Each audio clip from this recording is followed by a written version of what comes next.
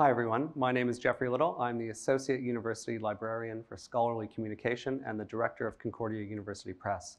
Today we are unboxing the third revised edition of The Regulation of Desire, Queer Histories, Queer Struggles by Gary Kinsman.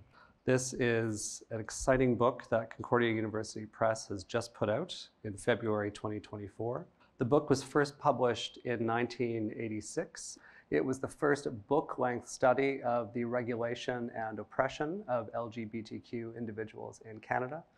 Gary Kinsman, the author, is an important engaged activist scholar. His scholarship has had an impact on generations now of Canadian scholars who have used his works but have also used him as a role model, as a guide, as a mentor in the field of activism and social and community engagement. So this book is essential to anyone who is studying, researching, interested in the history of queer activism, queer history, queer lives in this country. It shows us where we've been, shows us where we're going, and it shows us what we can be working together. You can buy your copy of The Regulation of Desire at your favorite bookstore.